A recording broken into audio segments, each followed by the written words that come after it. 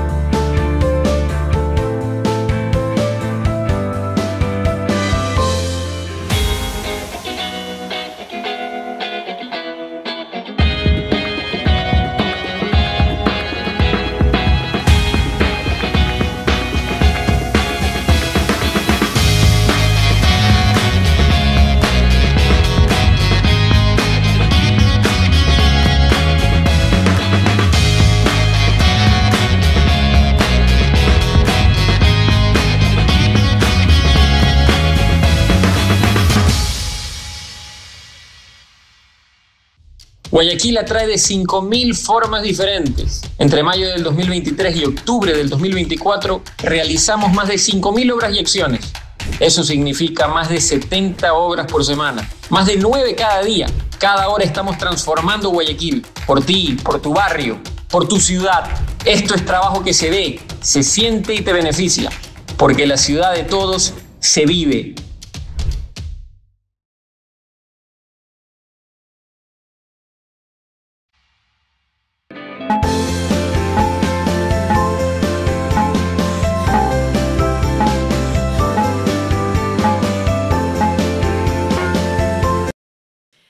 ¿Qué tal, amigos? ¿Cómo están? Bienvenidos a Ingo.es. Muchísimas gracias por estar conectados con nosotros.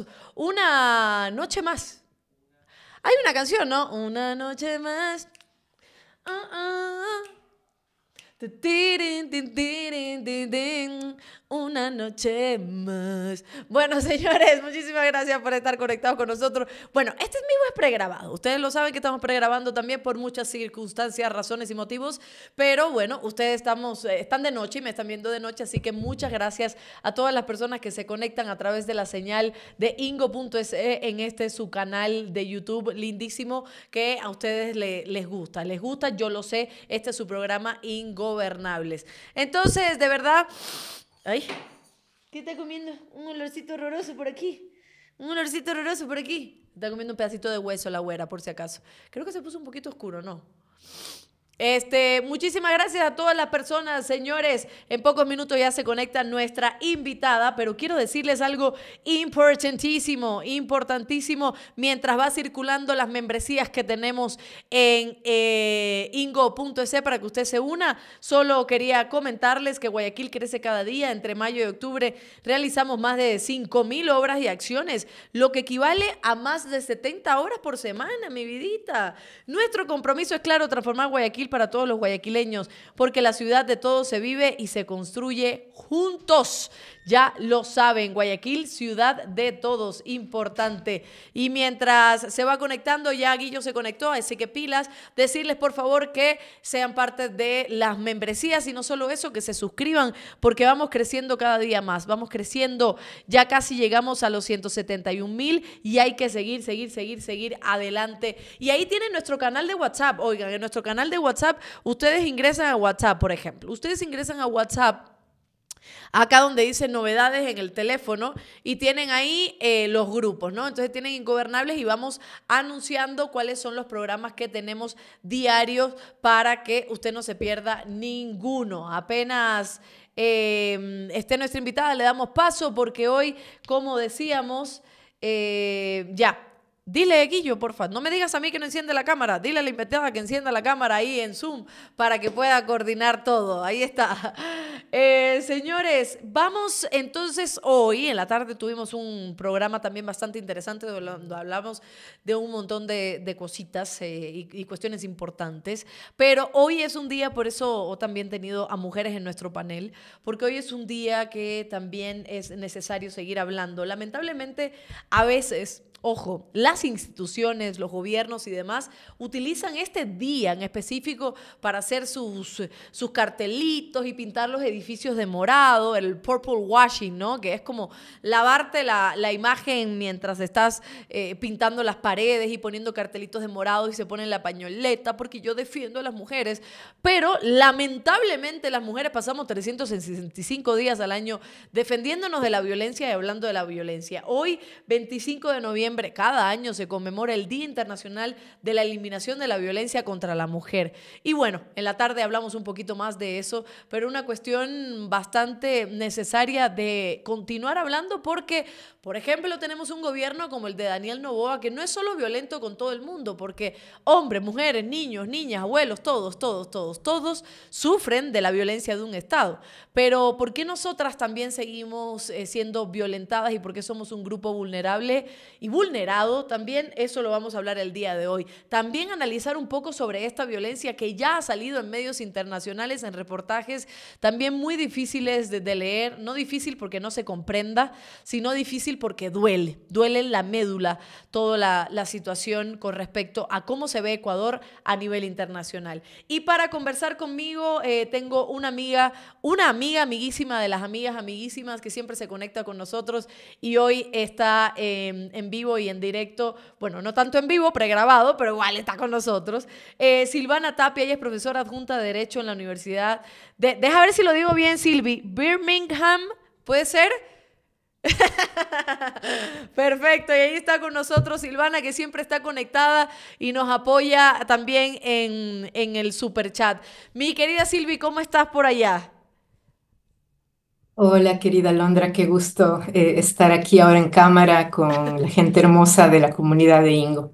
Mm, qué bueno, mi Silvi, qué bueno que estés por ahí. Aquí, aquí está haciendo friecito. Yo me imagino, ayer, el otro día me pasaste una imagen que estaba nevando. Aquí no nieva, pero hace frío. Así que estoy ahí tratando de ser un poco empática con lo que debes estar pasando del frío. Silvi, vamos Vamos a los primeros temas porque hay, mucho de qué hablar y sobre todo hoy.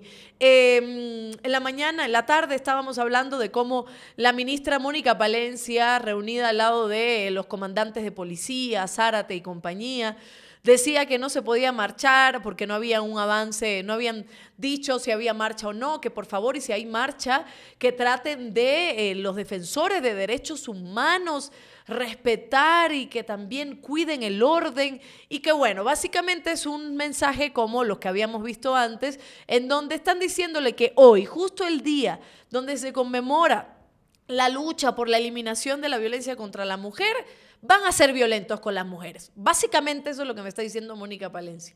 Además hay otras denuncias de violencia contra el presidente Daniel Novoa por violencia política. La tengo por acá, lo veía también hace unos días. Una nueva denuncia por violencia política de género por parte de eh, María Luisa Coello. Además, un ministerio de la mujer que no ha hecho nada y que lo único que está diciendo es avalar que la vicepresidenta Verónica Abad sea víctima de violencia política. Con todo esto que te estoy diciendo, ¿cómo podemos resumir lo que se vive en un gobierno como el de Daniel Novoa con respecto a la violencia contra las mujeres? Bueno, creo que justamente a los datos que tú has mencionado en este momento debemos añadir quizá algo más desgarrador, que son las cifras que han sido levantadas por varias organizaciones de la sociedad civil que constituyen la Alianza Feminista para el Mapeo de los Femicidios en Ecuador. Y de acuerdo con estos datos, entre el primero de enero hasta el 15 de noviembre de este año de 2024, ha habido al menos 215 muertes violentas de mujeres por razones de género. Entonces, creo que es importante hacer... Em, esa desagregación de datos por género, porque además de las múltiples mentiras que ya han sido identificadas en el discurso del gobierno, se ha dicho que se ha reducido la violencia y que se han reducido las muertes violentas, y sin embargo, si es que observamos a las muertes violentas de mujeres por razones de género, vemos igual una, una curva ascendente. Y hay que señalar que aquí las armas de fuego están también en curva ascendente, lo cual eh, se puede colegir, se podría sugerir que hay una relación estrecha con la violencia organizada de los grupos armados irregulares que operan en este momento en Ecuador. Entonces creo que lejos de haber sido reconocida esta realidad por parte de las instancias gubernamentales, más bien parecería que el afán es otro, el afán es ocultar y el afán es culpar muchas veces a las personas defensoras de derechos de lo que pueda ocurrir en diversos ámbitos de lo que es la defensa, justamente en este caso, de las vidas de las mujeres. ¿Tiene relación, ahora que comentabas esto, porque en unos minutos saldrá en pantalla, eh, después lo ponemos, pero ya está arreglándolo en pantalla justo lo que mencionabas de estos datos, pero para no perder el hilo, ¿tiene relación el narco, el crimen organizado con la violencia contra las mujeres? Sí, por supuesto. Digamos, en cualquier eh, en clave en cualquier escenario, contexto donde hay una violencia recrudecida, suele haber un impacto diferenciado por género. Esto es algo que se ha visto en contextos comparables como el mexicano, como el colombiano, en donde hay muertes que, además de las que se producen ya por la existencia sobre la línea de base de una desigualdad profunda, por razones de género, las muertes de mujeres aumentan eh, en razón de las dinámicas violentas que se producen por estos grupos armados irregulares en los que también participa el Estado. Creo que eso hay que decirlo claramente desde un inicio. No se trata de grupos separados del Estado, por un lado luchando por el bien y por la justicia y por otra parte los grupos armados violentando, sino que sin la participación tanto estatal cuanto de corporaciones privadas que manejan grandes volúmenes de recursos y de, dinero, ¿verdad? Sin esas dinámicas, sin esas sinergias, por decirlo de alguna manera, Em, no tendríamos los niveles de violencia que tenemos y por lo tanto el impacto diferenciado que, que se da sobre las mujeres. Entonces, eh, y, ojo, además de la participación activa del Estado en estas redes de, de acumulación capitalista irregular, por ponerle una etiqueta, también hay que sumarle la omisión, las omisiones estatales, ¿no? Entonces ahí obviamente, como tú mencionaste, el Ministerio de la Mujer y los Derechos Humanos brilla por su ausencia, ¿no? Solamente aparece dentro de ciertas campañas en redes sociales, eh, comunicacionales, que en algunos momentos eh, está gatillando, digamos, avanzando el gobierno, pero en verdad, además de ser una entidad estatal desfinanciada, no hemos visto un, impacto de la acción ya sobre el terreno, sobre ese terreno que diariamente las organizaciones de mujeres confrontan, ¿verdad? Las casas de acogida para mujeres que también están desfinanciadas y, e incluso las organizaciones de la sociedad civil que finalmente son las que monitorean las muertes violentas de las mujeres porque no hay verdaderamente una agencia estatal que haga este tipo de, de seguimientos. Entonces es acción y omisión del Estado, sí, acción también de los grupos armados irregulares y por supuesto también, eh, y eso yo lo, lo recalco porque a veces nos olvidamos, de los movimientos financieros, económicos y de recursos de las corporaciones privadas que también inciden en estas dinámicas violentas. Y ahora vamos a ver en pantalla, eh, Silvi, bueno, hay un señor allá afuera con los cables, esperemos que no se desconecte nada acá, pero por ahí está, hay que saludarlo. Silvi, vamos a ver en pantalla ahora, eh, tenemos justo el informe de, de Aldea, ¿no? Y de CEPAM y de otras instituciones también que hacen siempre el informe sobre los femicidios y feminicidios. Miren que ponen y a, todo el mundo que nos está viendo ahora, ¿no? No solo son femicidios, sino feminicidios y lo pone entre paréntesis. Me encanta esta forma de también decir un poco que, el, un poco no, un poco bastante, de que el Estado es parte también de eh, eh, culpable, testigo de los asesinatos eh, a las mujeres, ¿no? Porque es responsabilidad también del Estado. Tenemos que desde el 1 de enero hasta el 15 de noviembre 215 muertes violentas por razones de género, lo estamos viendo ahí. 1.921 eh, casos desde 2014 también, que es, que es alarmante. 107 femicidios íntimo, familiar o sexual, 15 transfemicidios, 88 eh, femicidios en sistemas criminales, que es justo lo que me comentabas también, eh, Silvana, 5 desaparecidas en 2023 y cuerpos encontrados también este año. Eh, y después hacen una relación en donde hay mujeres que estaban también, eh, déjenme ver porque no veo muy bien, desaparecidas, 119 eh, menores de edad que quedaron en la orfandad, porque todo estos, esto, esta parte que está en, en, un violeta un poco más oscuro, también son consecuencias de los femicidios, ¿no, Silvana? Porque hay las mujeres, los niños y las niñas que se quedan en situación de orfandad, las que eran madres, las que habían reportado incluso antes algún tipo de violencia. Eh, o sea, todo esto se compone es parte de los femicidios, es parte de los feminicidios. No podemos simplemente hablar, ah, mataron a una mujer. No, todo lo que atraviesa esto, ¿no? Justamente eso es lo que distingue una muerte violenta de un femicidio o feminicidio, el componente de género, ¿no? Entonces, por ejemplo, algo que es evidente y descorazonador y lamentable en el medio ecuatoriano es que muchas veces las víctimas de femicidios tienen, de hecho, boletas de auxilio, es decir, una medida de protección que ha sido emitida por un juzgado especializado, por un consejo cantonal de protección de derechos, etcétera.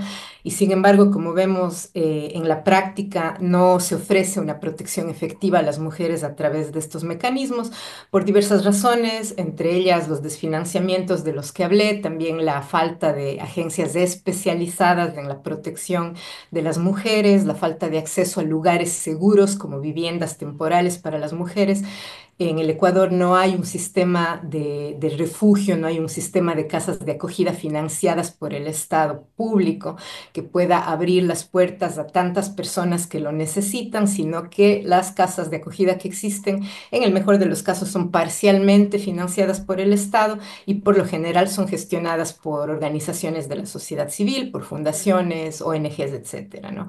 Entonces, y que el Estado, perdón que, te interrumpo, que el Estado debe garantizar que haya casas de acogida y todo esto, ¿no? Y el Ministerio, la Secretaría de la Mujer, Ministerio de la Mujer, eh, yo cada día veo más denuncias y no veo que hay una participación en esto. Hay casas de acogida que ni siquiera tienen financiamiento para poder, valga la redundancia, no solo acoger a las mujeres víctimas de violencia, sino a sus hijos una vez que lamentablemente las asesinan. O sea, el Estado no Además, Silvi le quitó como 4 millones de presupuesto al Ministerio de la Mujer. Esto tiene que garantizarlo también el Estado. Por supuesto, eh, no solamente porque el derecho a una, vida libre de violencia es un derecho garantizado constitucionalmente, en la Constitución hay menciones específicas del enfoque de género como parte del enfoque de derechos humanos, sino además porque hay una ley, una ley para la erradicación de la violencia contra las mujeres que está vigente desde finales de 2018 y allí se prevé que tiene que existir un sistema integrado de instituciones cuya, cuyo ámbito de acción se relaciona con la violencia de género y que debería garantizar justamente ya en la práctica eh, esa protección efectiva para las mujeres. Lejos del el Estado garantizar una protección efectiva, más bien podemos ver claramente que muchas veces es el causante de las violencias más extremas contra las mujeres. Creo que el caso de María Belén Bernal no se le debe olvidar a nadie. Ahí tenemos claramente la presencia estatal en un contexto de la policía, que se supone que es una de las entidades llamadas a proteger también a las mujeres, por ejemplo, a través de hacer efectivas las boletas de auxilio. Y más recientemente vimos el caso de Aidita Ati, ¿no? Para que no, no parece haber ningún viso de que vaya a llegar ningún tipo de justicia y que se produjo en cambio en el contexto militar dentro de un contexto más amplio de militarización más generalizada del país, ¿no? Entonces vemos que quienes deberían protegernos más bien provocan las violencias más descarnadas que sufrimos las mujeres. Y sin embargo, está Mónica Valencia al lado de un miembro de la policía y un militar, que son estos casos. María Belén Bernal fue la policía y Tati fue por parte de los militares. Entonces, vemos a esta señora hablando al lado de ellos, como diciendo que justo hoy, el día en donde las mujeres también quieren salir a hablar y a gritar, pues tengan cuidado porque va a haber violencia y no lo dudo. ¿Sabes por qué, Silvi? Porque el 8 de marzo, eh, desde hace algunos años, ha venido la policía violentando a las mujeres. Entonces, eh, eh, realmente estas incongruencias y estas incoherencias, lo que me dicen, perdón. Ve, perdón, Silvi. Ven, ven, ven, ven, güera, güera, güera. Es que me está defendiendo, está en el proceso de defensa. Caramba, ven acá, ven.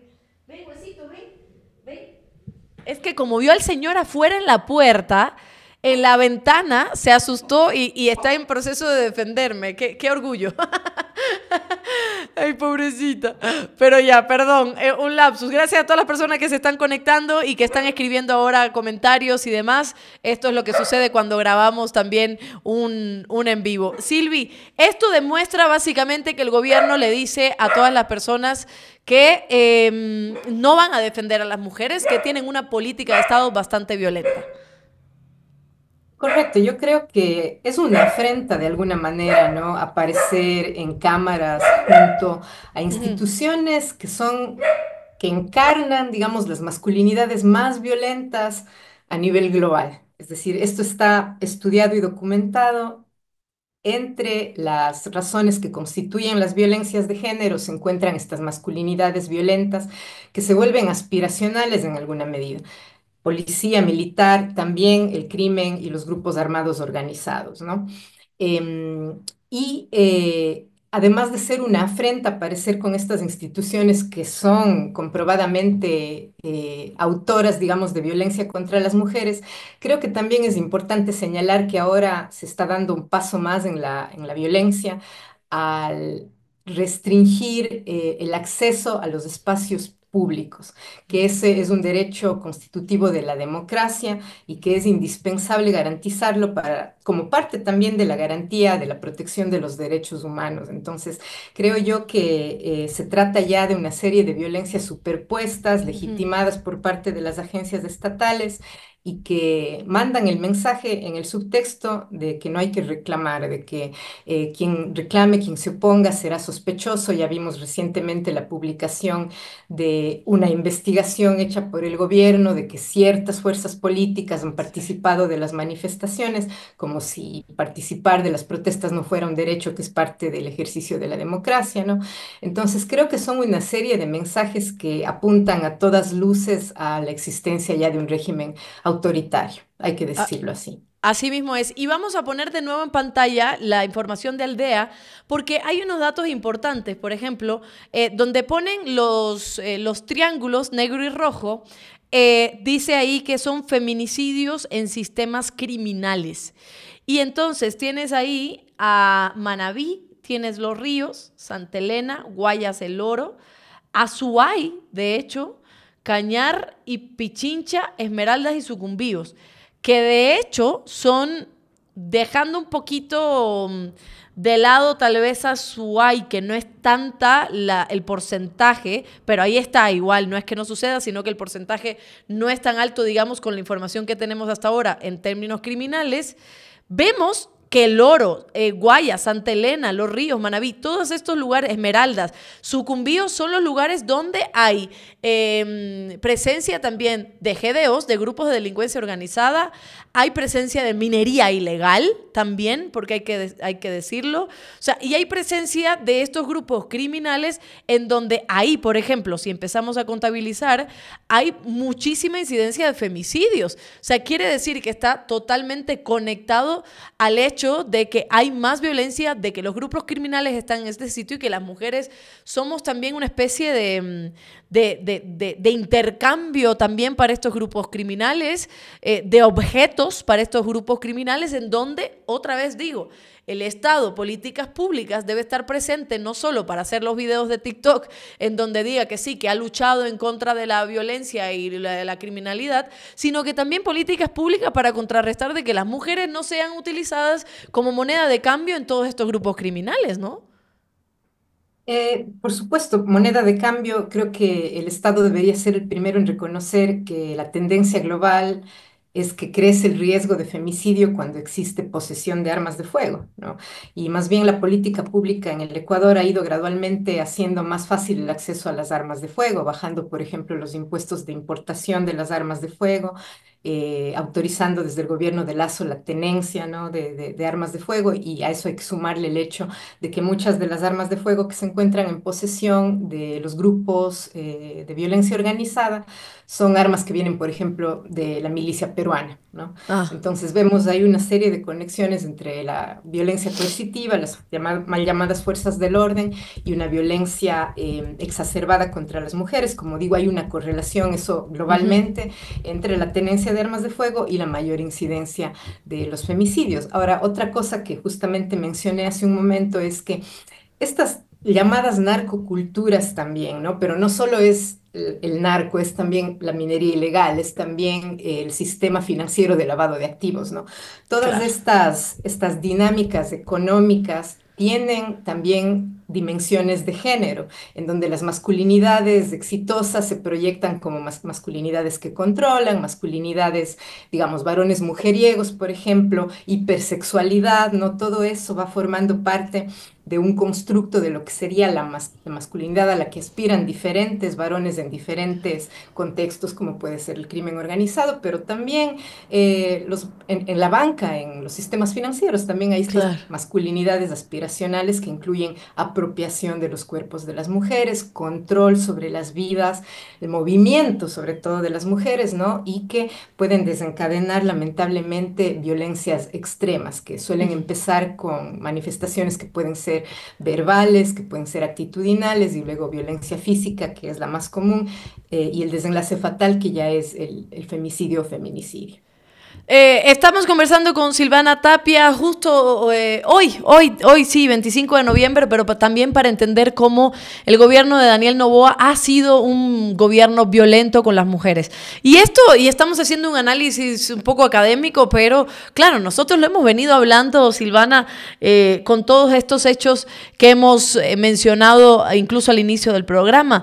Lo que ha pasado con Verónica Abad, que siendo incluso una mujer que no tiene un enfoque de género, que de hecho menospreció mucho tiempo a la lucha feminista y demás, ha sido una mujer que ha vivido en carne propia la violencia de este gobierno, pero no solo de un Daniel Novoa, y esa es otra pregunta que quiero hacerte, no es solo Daniel Novoa, sino las mujeres también a su alrededor. A mí me problematiza un poco cuando yo hablo de este tema porque no sé qué términos usar, porque no quiero utilizar el término de Daniel Novoa está utilizando a las mujeres porque siento que las pongo en un papel de víctimas cuando ellas han salido también a violentar a otras mujeres. No sé si hablarlo de esa forma, no sé, no sé cómo explicar lo que siento, pero siempre digo, las mujeres que están también alrededor del gobierno, alrededor también de Daniel Novoa, han sido muy violentas por nombrar Ivonne, eh, la señora ministra de Trabajo, Ivonne Núñez, eh, Diana Jacome, que también era parte de la presidencia, ahora es candidata, eh, Lucía Jaramillo, Em, ¿cómo se llama? Valentina Centeno, la misma canciller Gabriela Sommerfeld, Mónica Palencia, o sea, son ministras de gobierno que han ido no solo en contra de la vicepresidenta, han ido en contra de periodistas, han ido en contra de otras asambleístas, han ido en contra de absolutamente todo lo que tenga que ver con al menos un ligero enfoque de género que deberían tener, sin contar la violencia simbólica de la ministra de eh, la Secretaría de las Mujeres, porque también la hay el hecho de no hacer nada, el hecho de permitir que quiten presupuesto y no enfrentarse, el hecho de tener mensajes como que la vicepresidenta no, no es ninguna violencia política de género, sino un sumario administrativo. ¿Cómo podemos leer el hecho de que haya mujeres también prestas a violentar a otras? Creo que esa es una pregunta muy importante y, y es necesario entender que la violencia de género no es incidental y únicamente interpersonal. O sea, tenemos que un poco ampliar la mirada y darnos cuenta que la violencia no se produce solamente cuando una persona hiere o causa daños a otra, sea o no físicamente, ¿no? La violencia también es estructural. Y cuando decimos estructural, queremos decir que se trata de violencias que son inherentes al sistema en el cual vivimos. Entonces, por ejemplo, la pobreza puede ser una forma de violencia estructural porque inmediatamente, sin que haya violencia interpersonal, pone a algunas personas en una situación en la, en la que van a ser más vulnerables a cualquier eventualidad, ¿no? Como por ejemplo un accidente de tránsito, a la persona que tiene menos medios económicos para cubrir su atención en salud, le va a afectar más ese accidente. Entonces, pongo primero ese ejemplo para luego decir que la violencia de género, así como la pobreza, también es una forma de violencia estructural ¿Qué quiere decir eso? Que las mujeres, los cuerpos feminizados, las personas de las disidencias sexogenéricas, las mujeres trans, etcétera, por el hecho de encarnar esa identidad de género o estas historias de vida que nos hacen ser eh, mujeres, cuerpos feminizados, etcétera, ya nos encontramos en una situación de mayor vulnerabilidad. Entonces, eh, muchas veces, por ejemplo, el caso de la, de la vicepresidenta es sumamente interesante porque justamente se trata de una persona que, cuyo discurso que intenta ser invisible o proclamar la inexistencia del feminicidio y la invalidez de los argumentos de las feministas, de las personas defensoras de derechos humanos, ninguna persona es inmune a la violencia estructural de género, incluyendo las personas que en principio podrían eh, negar la existencia justamente de formas estructurales de violencia. Entonces ahí está clarísimo el ejemplo.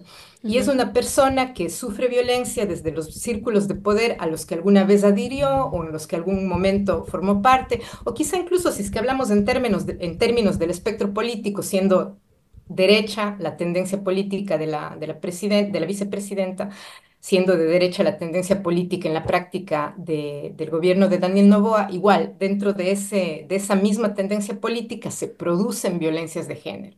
¿No? Entonces, creo que es importante entender que es en ese contexto de desigualdades sistémicas que cualquier persona puede ser agente de violencia y no porque necesariamente su personalidad sea particularmente violenta, porque sea particularmente mala, sino porque es un engranaje en un sistema que funciona de determinada forma y cuyos objetivos son subordinar u oprimir a unos sectores de la población, dando poder eh, y mayor capacidad de acción a otros sectores. Entonces, en ese engranaje, una persona puede eh, ser agente sin, sin siquiera ser consciente de que lo es. Tal vez no necesariamente, bueno, yo diría que en el caso de la ministra de, la Mujer y los Derechos Humanos esperaría que no, que no sea inconsciente porque se supone que es algún conocimiento especializado el que le ha puesto en la oficina en la que se encuentra, pero aún así, ¿no es cierto? Ahí sí podríamos de todas formas eh, seguir hablando de que todas las personas estamos insertas en un sistema violento eh, y creo que todas en algún momento podemos... Eh, caer, digamos, en dinámicas violentas, como digo, sin necesariamente hacerlo de forma intencional, aunque por supuesto también hay violencia intencional. Totalmente. Eh, y ahora voy, justo, seguimos hablando del tema de violencia, y hace unos días salió en The Economist un, un artículo eh, que dice, un viaje por el nuevo narcoestado del mundo. Las drogas transforman Ecuador de una historia de éxito en América Latina a una zona de guerra. Y esto sale uno de los medios también bastante importantes eh, con respecto a los análisis y la investigación. Ojo, no es cualquier medio Economist.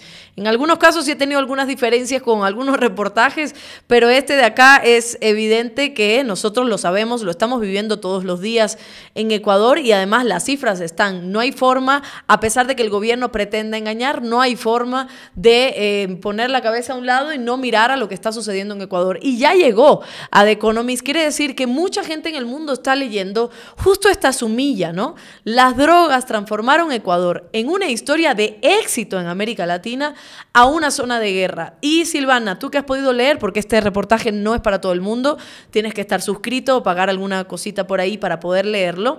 Si me puedes hacer una especie tal vez de resumen de lo que eh, ha dicho acá este reportaje. ¿Por qué habla de una historia de éxito en América Latina y cómo es que empieza a introducir el tema de la droga que transforma Ecuador en una zona de guerra?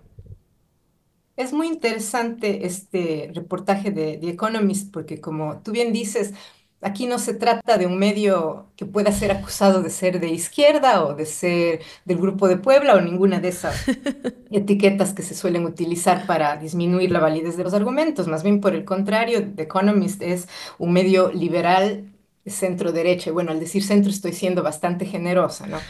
Eh, un medio liberal en todo caso, es un medio británico, este reportaje se publica en una de las revistas que son parte de, de, este medio y efectivamente está publicado en inglés y detrás de, una, de un muro de pago.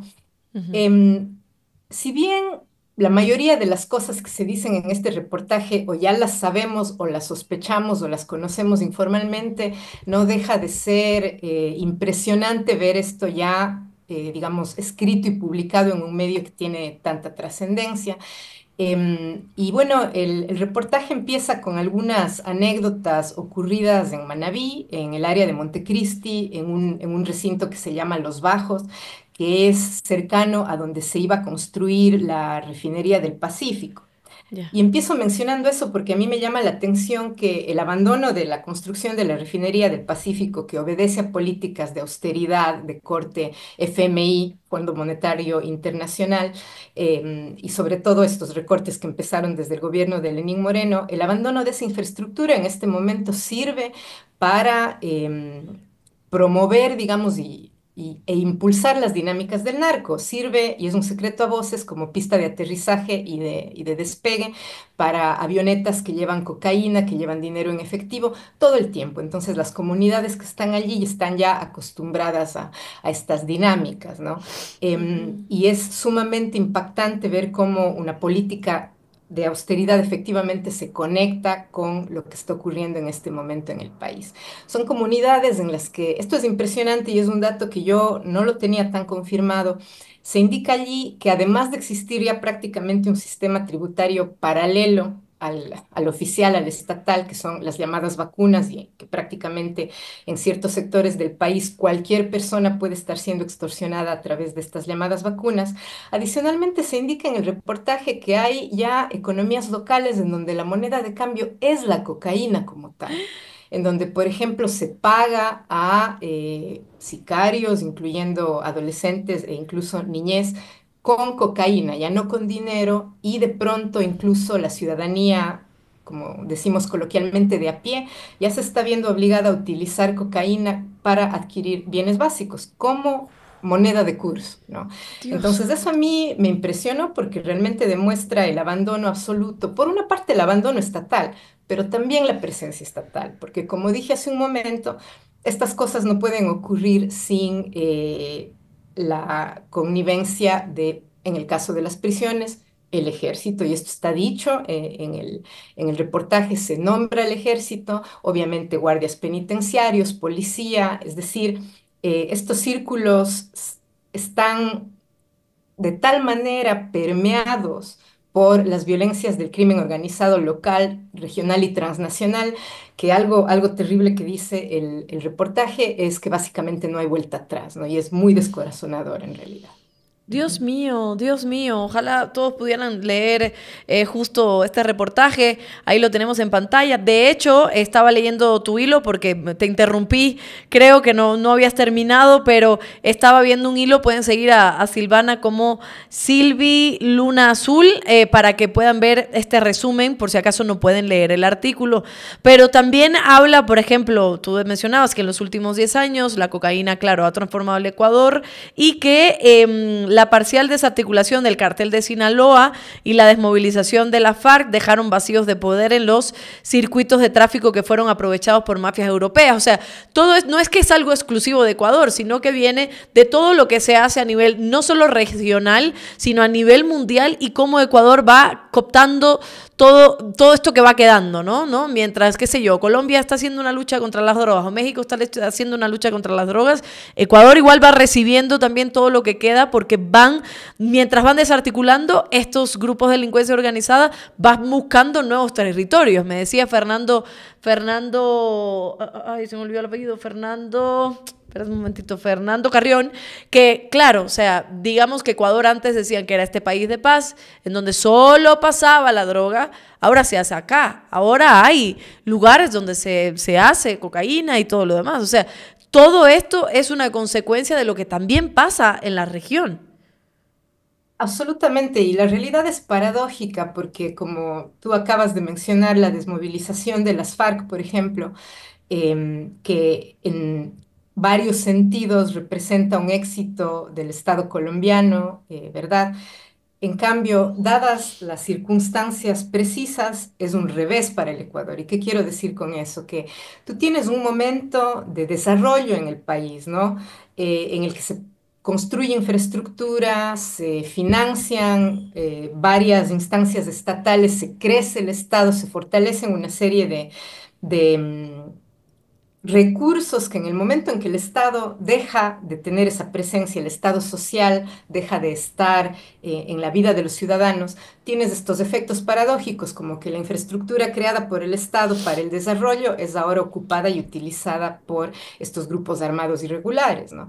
Tienes que se atrapa el Chapo Guzmán en México, por ejemplo, eh, existe una relativa reducción quizá del poder del cartel de Sinaloa y queda un vacío que viene a ser ocupado por estas mafias europeas, la llamada mafia albanesa, pero también italiana, también rusa, que en algún momento solo eran como repartidores, digamos, de, las drogas que em, son movilizadas por el cartel de Sinaloa y ahora de pronto quieren ocupar también el negocio desde sus inicios, ¿no? Entonces quieren ser también parte de la producción, ser también parte de la exportación. Y de hecho ahora sabemos que la mayor parte de la cocaína que se consume en Europa, incluyendo en el Reino Unido, donde yo me encuentro, sale de puertos ecuatorianos.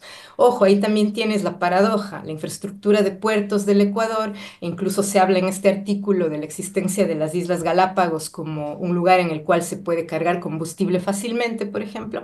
Eso también facilita estos, estos circuitos de, drogas, ¿no? Pero yo añadiría también que no son solamente las drogas y que no es solamente la cocaína lo que está eh, siendo el combustible para estas dinámicas, sino tú mencionaste también eh, correctamente la minería, eh, los servicios financieros, la construcción, las inmobiliarias, ¿no es cierto? Todos estos mecanismos en los que se inyecta y se blanquean los capitales. Entonces, sí creo que es importante también ampliar la mirada porque a veces corremos la, el riesgo de, al hablar solo del narco, por una parte tenemos un, una, comprensión estrecha y limitada de lo que ocurre, pero también podemos estar estigmatizando cosas como el consumo, equiparando como ha querido hacer este gobierno justamente al consumidor con el traficante, por ejemplo. Y hay que ir pensando también en las alternativas, que una de ellas, y esto se ha hablado mundialmente, está muy discutido eh, globalmente, dentro y fuera de la academia la legalización de las sustancias como forma de desmantelar los mercados negros. Entonces, sí quisiera yo también em, no, no hablar únicamente del narco, porque eso como que tiende a desplazar la posibilidad de hablar de otras cosas como la legalización.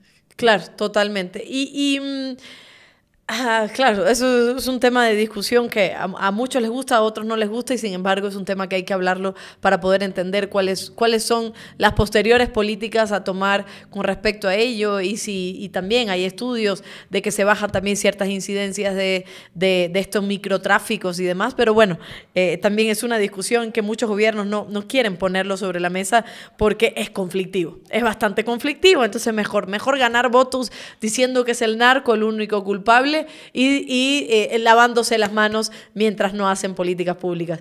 Y lo último que te pregunto también, Silvana, es que tú hace poco estuviste en Ecuador y nosotras siempre hablábamos de cómo, cómo se ve la situación allá y, y tú vives en el Reino Unido ir a Ecuador, ver la situación de la crisis energética, ver la situación, por ejemplo, de, eh, tú misma me ponías sobre la mesa de las enfermedades estomacales con respecto a los alimentos que se van comiendo y que están dañados probablemente debido a la falta de, luz, de energía eléctrica. Eh, ¿Cómo viste la situación allá? ¿Es desesperanzadora? ¿Cómo está? Creo que hay una doble dimensión de lo que vi. Yo voy regularmente a Ecuador por trabajo, incluyendo investigación que realizo en colaboración con organizaciones de base, sobre todo, ¿no? Organizaciones que em, trabajan con mujeres de sectores populares, de sectores menos privilegiados y en muchos casos excluidos de, de todo beneficio estatal, de todo beneficio social prácticamente. En ese contexto, entonces, eh, para mí sí fue desgarrador e impresionante ver el efecto de la crisis energética. Primero que, si bien yo he vivido durante, durante el tiempo que yo viví en Ecuador, he vivido en Ecuador la mayor parte de mi vida, sí pasé por periodos de cortes de luz, nunca de la magnitud, eh, de la duración que en, este, que en ese momento se estaban produciendo hasta de 12 horas e incluso 14 horas diarias, muchas veces de forma irregular, sin poder planificar nadie sus actividades. Y eso afecta muchísimo, como ya se ha dicho, en múltiples lugares la economía y las economías más pequeñas. Por ejemplo, si es que un, hotel internacional que recibe turistas tiene planta eh, de energía que le permite pasar de alguna manera la crisis, eso no ocurre a nivel ya de, de empresas pequeñas y medianas y no se diga de negocios autónomos, del comercio autónomo y del comercio informal también o informalizado, que en el caso de América Latina, pues el trabajo no formal es la mayor parte del trabajo. La mayor parte de personas trabajadoras no están amparadas a un régimen de estabilidad laboral, ¿no? Entonces allí las compañeras con las que yo trabajo, como por ejemplo eh, las compañeras de Mujeres de Frente, que es una organización que está en el centro de Quito, comentaban que primero eh, el comercio autónomo se ha vuelto mucho más difícil, pero también que eh, sus barrios ya han sido ocupados en Quito mismo, ¿no? No estamos hablando de la costa en este caso, por estas organizaciones, estos grupos armados que ya van definiendo barreras territoriales, que ya van definiendo sus, sus lugares de acción y subordinan a las personas que están tratando de salir adelante eh, a, estas, a estas dinámicas territoriales. De pronto las personas ya se sienten con miedo en sus propios barrios de toda la vida, por ejemplo. Esto es una, una dinámica nueva que, que es absolutamente sin precedentes en el Ecuador, ¿no? Y las ramificaciones de la crisis energética son insospechadas. Lo que tú decías, o sea, si de pronto tienes un refrigerador que no funciona durante tantas horas en el día y se descomponen los alimentos, a veces quizá no nos damos cuenta y de pronto tenemos por ahí epidemias de infecciones bacterianas, eh, de problemas gastrointestinales que afectan mucho a la niñez también, ¿verdad? Al romper la cadena de frío em, y eso sin mencionar toda la, mercancía que además deben descartar. Eh, aquellos comercios, aquellos eh, proveedores de servicios que no tienen el capital para, ellos mismos tener el combustible para generar la electricidad que se necesita, ¿no? Para mantener la cadena de frío.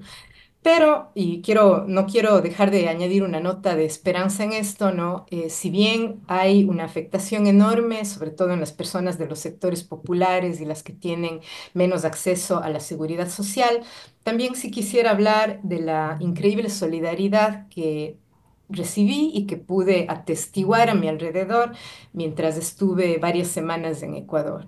Y me refiero a las comunidades de auxilio mutuo que se van generando, a cómo las mujeres son increíblemente creativas para crear eh, redes de apoyo, para asegurarse a través de la redistribución de los pocos recursos que tienen, que los guaguas estén alimentados, que se conserven la comida eh, para asegurarse de estar allí presentes, pese a todo, apoyando a sus compañeras, compañeras en las diferentes actividades que tienen, ofreciendo ayuda, tendiéndose la mano. Y eso a mí me dio mucha esperanza y reafirmó, digamos, mi convicción de que es en el fortalecimiento del tejido comunitario, en, en la en el reconocimiento de la otra persona como persona a la que puedo escuchar, a la que, que, me ayudará, yo le ayudaré y que así podremos ir enfrentando esta lucha que es ahora la supervivencia, que es ahí donde está la resistencia política y seamos un poco más eh, utópicas, quizá ahí es donde están las semillas revolucionarias, creo yo. Ahí está, ahí está, eso es.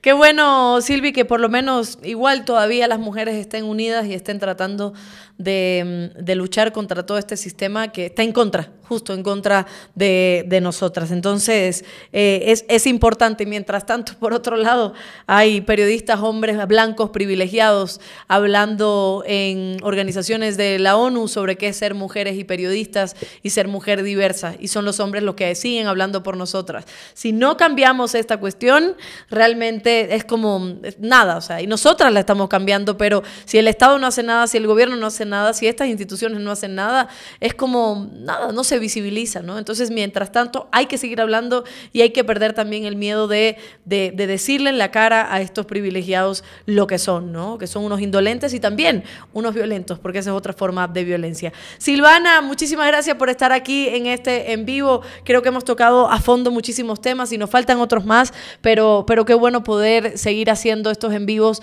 donde podamos instruir tal vez con conocimientos de otras personas, analizar y debatir sobre lo que pasa en Ecuador y el mundo y cómo incide también lo que pasa en el mundo en Ecuador. Silvi, muchísimas gracias por estar acá. Gracias a ti, Alondra. Un abrazo muy, muy afectuoso y un saludo a toda la gente de Ingo que siempre interactúa en la comunidad. Perfecto, chao. Ahí está Silvana Tapia, señores, dando una clase magistral. Ella es profesora, de hecho, y efectivamente está dando una clase de todo lo que sucede eh, con respecto a la violencia en Ecuador. Y, y gracias a todos. Guayaquil crece cada día. Entre mayo y octubre realizamos más de 5.000 obras y acciones, lo que equivale a más de 70 horas por semana señores. Nuestro compromiso es claro, transformar Guayaquil para todos los guayaquileños, porque la ciudad de todos se vive y se construye juntos, ya lo sabe. Este pequeño eh, momento donde la güerita empezó a ladrar es que precisamente está en esa fase. Eso me dijo Tupac, que son, ¿cómo se llama? Protectores innatos. Entonces, al frente de la ventana, que es de cristal, había un señor en los cables, porque los cables se habían caído y estaba arreglando los cables. Y entonces él vio que había un señor afuera y le empezó a ladrar y por eso es que tuvimos a la güerita. Y de hecho empieza a ladrar y enseguida se pone abajo en mis pies como, como protegiendo, ¿no? aquí abajo está, como diciéndome tranquila, tranquila que estoy aquí. Entonces, perdonarán por eso, pero bueno, tremendo en vivo que hicimos ahora. Espero que hayan puesto like. ¿Pusieron los likes?